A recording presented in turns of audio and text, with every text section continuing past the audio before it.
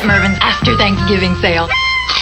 $6.99. Fun to dress. Barbie's $2.49. Six months. Come to Oasis Bedrooms this weekend. Light Show, only on YouTube. Hello again and welcome back to the channel guys. I hope you are enjoying your holiday week. Happy Thanksgiving for those in the US. Tomorrow is Thanksgiving and I hope you guys have a wonderful holiday, seeing family, friends, however you are navigating this year's holidays, which are a strange one from me to you. I hope you enjoy your Thanksgiving. So we have a little treat to install on our GTI today. It is GTI Wednesday, so we've got uh, something to do. Last video, you saw us install the rear sway bar. If you haven't seen that video, be sure you go up, click in the left hand corner. And I mentioned what we'd be installing this week is some chassis bracing. So right here, we've got our two little braces. These are from ECS Tuning. These are their rear chassis brace set. They say that it triangulates your rear end. How much does it do? I don't know. Figure it can't hurt. It looks cool. It's like a anodized or actually powder coated. It's a powder coated red. So it looks pretty cool. Not that anyone's gonna see it. It's really sturdy. It looks good. It feels right. And uh, we've got two of these to install. So they should. They go from each side of the car through the center little brace. It's just a little tiny pipe that connects between the tunnel of the exhaust. So basically it connects your left and your right to the center, which is already connected. So theoretically it should help stiffen up a little bit. That's the theory. And I don't know how much testing I'll be able to do for it, but I feel like overall it should make the car feel a little bit better in the long term with all of our other upgrades that we've done.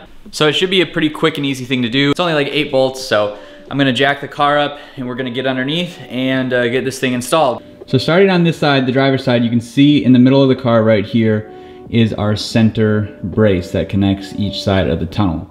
We're going to be using these two bolts here, and then over here, right behind my jack right here, are the two other bolts.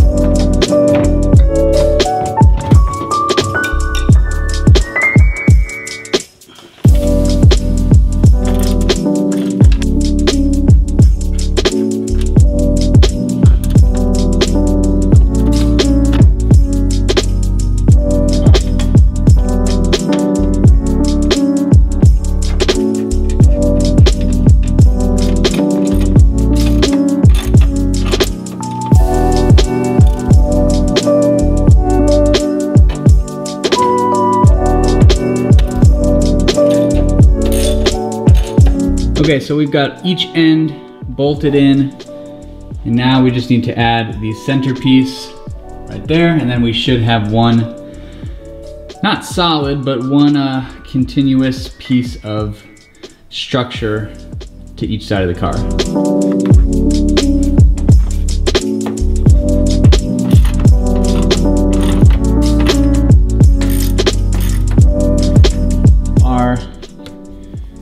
Chassis mounting is all attached. It's tightened down to both sides, so we should have a little bit more structural integrity back here. At least that's the thought. As I said, I can't claim that this does anything quite yet because I haven't driven with it and I don't know if we'll even feel anything with it, but as you can see, it definitely beefs everything up towards the center rear of the car. So let's put the car down and uh, we'll go for a test drive to see you know, if there's any difference and wrap the video up. All right, so initial impressions, as I always do.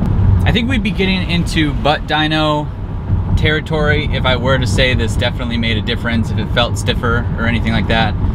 I can't speak to it. Um, I mean, I know the car, but I don't know it super well since I really haven't had it that long. I haven't done too much extreme driving with it or anything like that. So it's really, really tough to tell but in combination with the sway bar, granted this is like with the sway bar and everything, it still feels very good. It doesn't, it might maybe, maybe feel stiffer. Take that as you will, but it's just, uh, it's surely a little bit of a compliment to that rear sway bar and you know, we're probably gonna do some other upgrades, like there's a uh, sway bar hard mounting bracket. We might look into that in the future as well. And also some more underbody bracing to keep flex down on this big old Golf.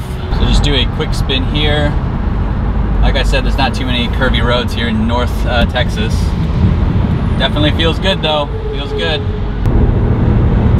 All right, we'll go about 60 here. We'll take this turn. Definitely stays flat.